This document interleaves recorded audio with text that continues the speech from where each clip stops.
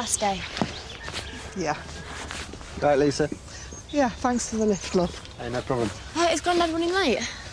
He's not coming. Oh, Lise. I know he's upset you, but come on. It's me up there today, not you. Leave it, Debbie.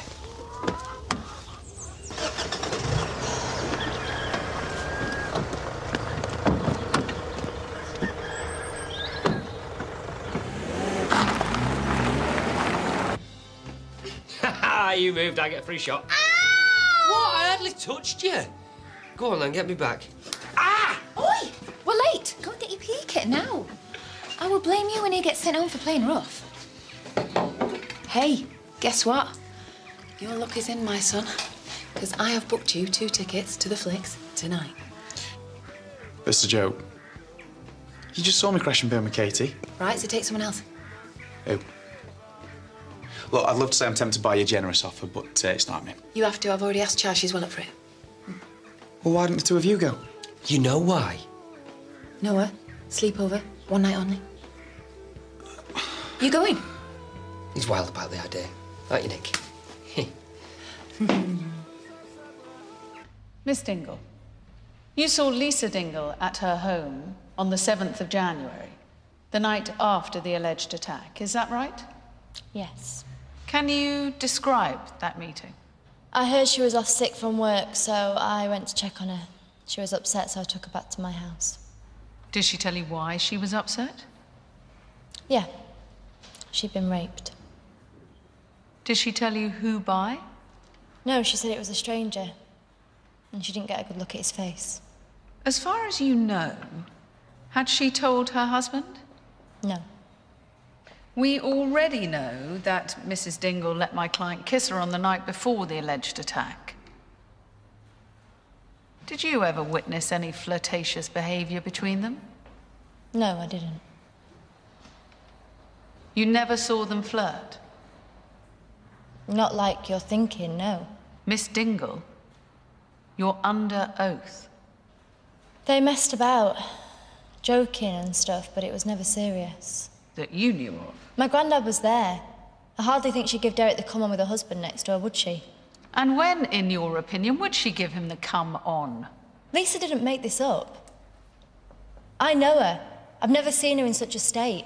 Then why didn't you take her back into her husband? Sorry? That night when you found her outside in the dark, all worked up and shaky.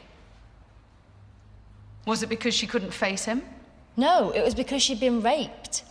So she claims. Miss Dingle, would you say you were close to your grandfather? Close enough. What would he find most difficult to deal with? His wife having sex with another man because she was forced? Or because she wanted to?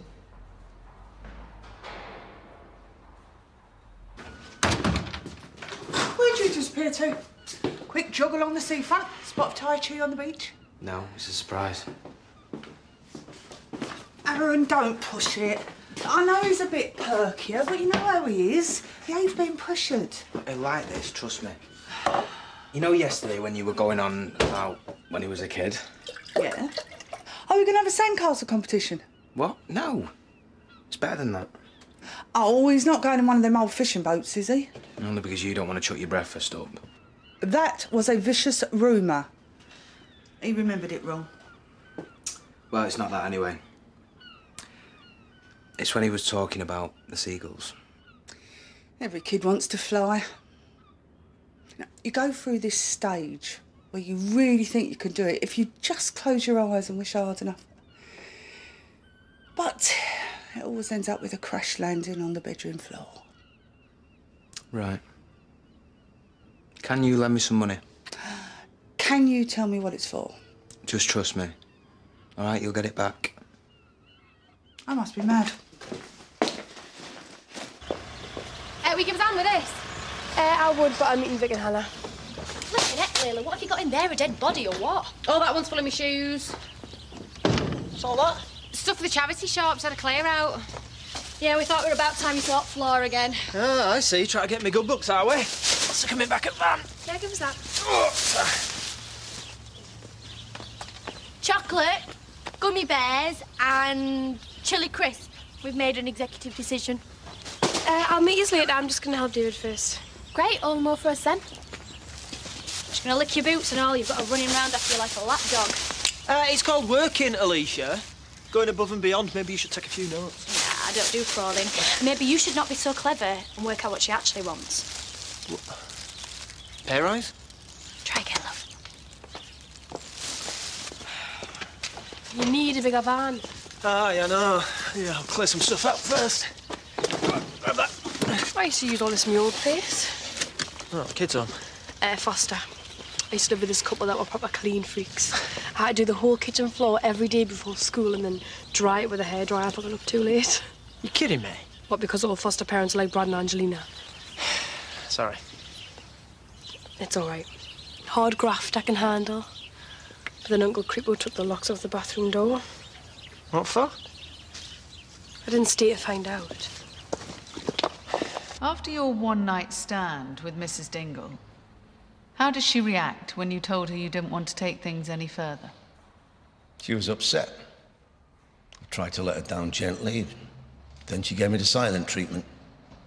And why do you think it was, seven weeks later, that she suddenly accused you of rape? I was starting to get closer to Lizzie, her mate. But Lisa wasn't having that. She was snapping at the girls, telling me to back off. But I wouldn't. So, she stands up and says the worst thing she could. I have no further questions. My learned friend may have some questions for you.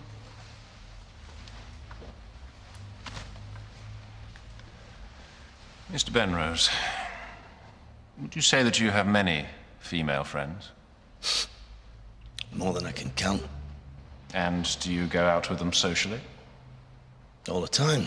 Get a whole gang of us together, we go to the pub, we go out dancing. Do you ever kiss any of these women on the cheek? Maybe. The end of the night. So do you want to have sex with them all? No.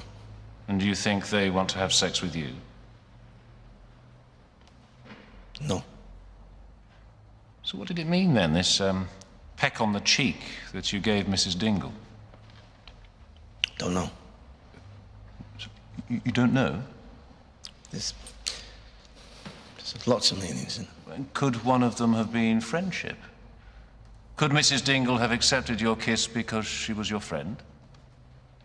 It's not what I thought at the time. Let's move on to the night of the alleged assault on Mrs. Dingle. Can you describe what happened in the staff room? I put my arms round her, and we kissed. Then we couldn't keep our hands off each other. Did you realize that Mrs. Dingle was crying? No.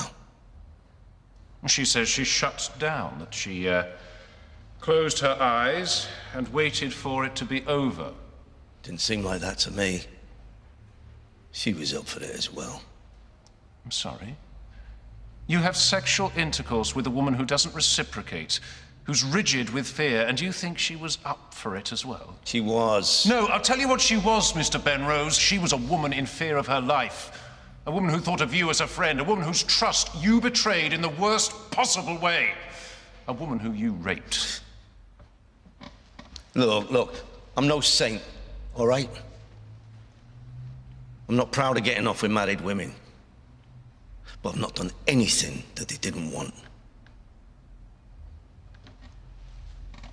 And adultery isn't a crime. Oh, that order ordering malarkey, it's harder than it looks. Tell me about it. Doug used to do ours. Hey, you don't want a job lot of aged balsamic, do you? See you. See ya. Hey, why haven't you been answering your phone? I've been on a brewery day, if that's all right with you. Sounds really dull. Hardly. You know what you need? You need a night out tonight on me. What's the catch? With Nikhil. Oh, you're joking. Noah is at a sleepover. I am not babysitting my old boss for the sake of your love life. What love life? Between Noah and Nikhil, I am not getting any action. Well, Charge a hotel to expenses. Please don't be tight. I've done you plenty of favours in the past. Hmm. All right, how about this? I'll owe you one. I'll check my schedule. Good, good, good. You all right? Here. That fell out of one of the bags, so you might have put it in by mistake. Uh, no, meant to get rid of that. Get rid... How is that any worse than any of your others? That came out wrong, so... It's off my ex, you know, one with the snakes. It's quite nice. Maybe, um, maybe Amy would like it. All right, yeah, give it a... Not bothered, whatever. As long as I get rid of it. Right. That's the thing about late lunches, though, isn't it? Just don't want to go back. See, in some places we'd be having a siesta right now. A few hours kip and then back to the grindstone. And when will we have our tea? 11 or 12. What? That is bonkers. Yeah. Really? Hi up. So, I hear you and me are going to the fix tonight. Funny, I heard a rumour about that as well. Hmm. Should we get going, Nikhil? Oh, stay for another one. They're not going to miss you, are they? See you later. Yeah.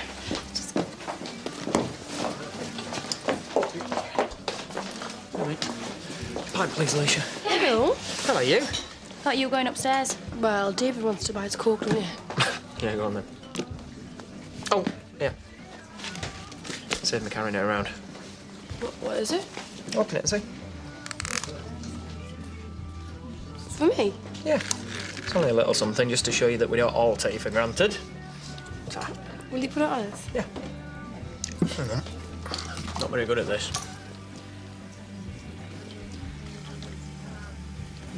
There we go. What does it look like? Suits you. I wear it all the time. There are two counts on the indictment relating to allegations of rape by two different women. And you must decide on each case separately according to its individual merit. And what you must decide here today is if Mr. Benrose had sexual intercourse with Mrs. Dingle and or Mrs. Aston against their will.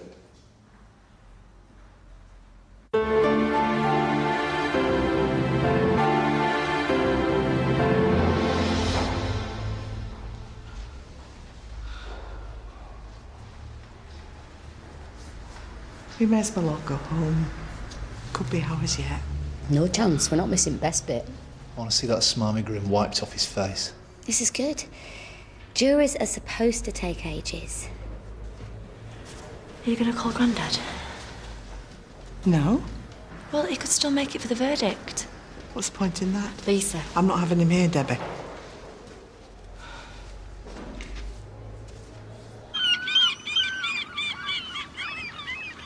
Not breathing in. Oh, man up, Hazel. It's only a bit of fish. And blood, and guts, and stringy bits. Ugh. It's weird, isn't it? I mean, imagine them all swimming round. Look totally different, wouldn't they? Yeah, because they wouldn't be dead. Yeah, obviously. I'm just saying it's interesting, isn't it?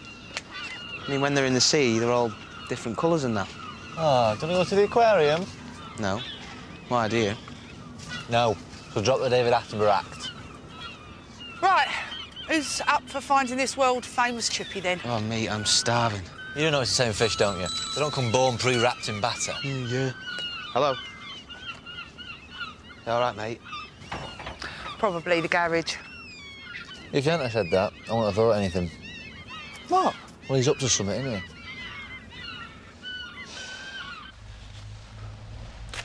Members of the jury, have you reached a verdict upon which you are all agreed? We have. In respect of count one, the rape of Claire Aston, how do you find the defendant guilty or not guilty? Guilty. In respect of count two, the rape of Lisa Dingle, how do you find the defendant guilty or not guilty? Not guilty.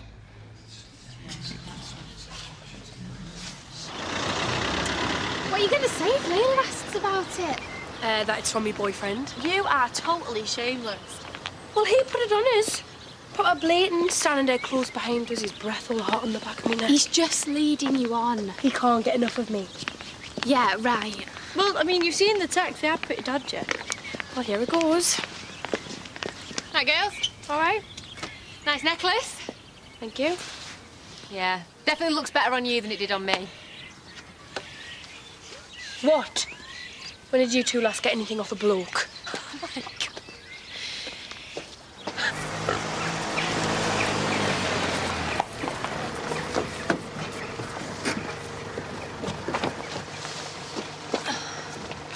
Do you want me to come in?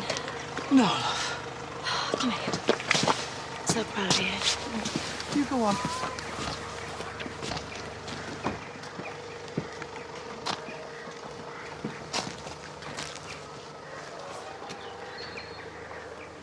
You were found guilty.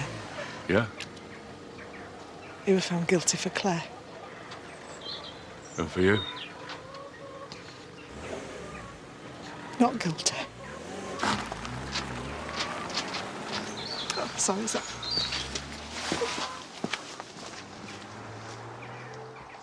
Why didn't the jury believe her? Because they're flaming idiots, that's why. So obvious she was telling the truth. Yeah. That Derek's a nasty, manipulative, sad little man. Mm. Who nearly had his way once more. I bet you didn't know, did he? That's only because Lisa were protective of me. I mean, why couldn't they see that? She was just used to bolster that other woman's case. No, Marlon. Lisa knew it was never a done deal. Anyway, at least this way gets some time. It's in the evidence, though, isn't it? What does that even mean? Once a rapist, always a rapist. Are you planning on lifting a finger tonight? Sorry? Well, it's just like working with the invisible woman, that's all. Oh, you're doing such a good job. It's a shame to spoil it now. What? I've got to go somewhere. Sorry. It's all booked and paid for. Come on, supper. We don't have to go. Mm. I know.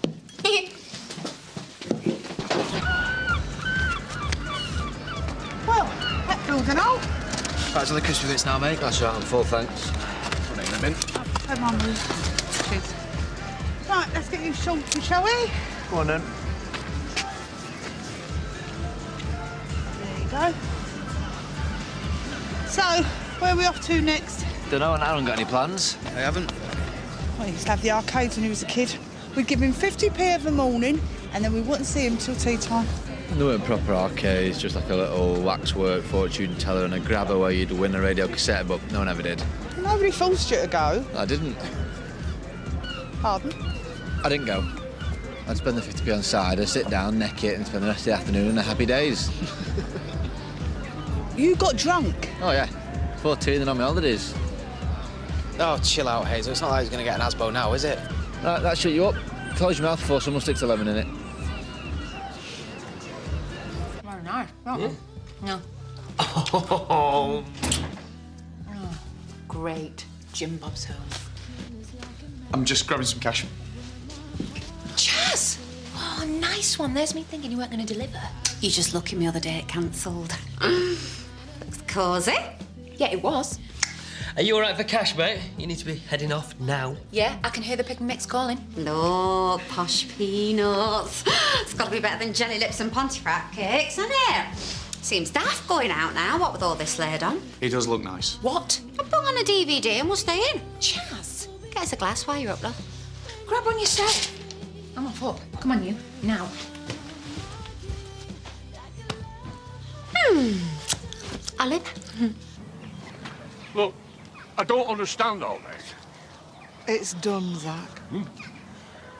What did she say that were different to you? I'm not doing it, Zak. I'm not going over it again and again just to make you feel better. How do you mean? I know he were guilty. And I were pinning my hopes on the guilty verdict for me so I could come home and tell you. Huh? Like it was something I owed you, like it was the least I could do. I wanted it for you. I know you didn't. The one thing I asked of you to stay away, you couldn't do. Huh? How many more times I was supporting you? That wasn't support, Zak. I was doing what you wanted and not caring about what I need. Look, all this. It's not been easy for me, too. I know. But don't you see, going through all of this, it's taken everything out of me. I've got nothing left to be worrying about you. You don't have to. I do, because I didn't get justice. And that's going to have an effect on us for the rest of our lives. And I don't know if we can ever get over it, What are you talking about? you and me.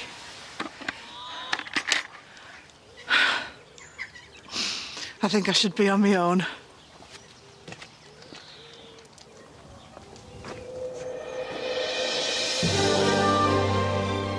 Imagine if your own brother was put up for adoption at just four years old. It was a heartbreaking time for a woman now 60, but there's help tomorrow night. Long Lost Family is at nine o'clock. Next here on ITV1, the visas are sorted, so Man United can take on Schalke. We're live in Old Trafford for the second leg of the UEFA Champions League semi-final.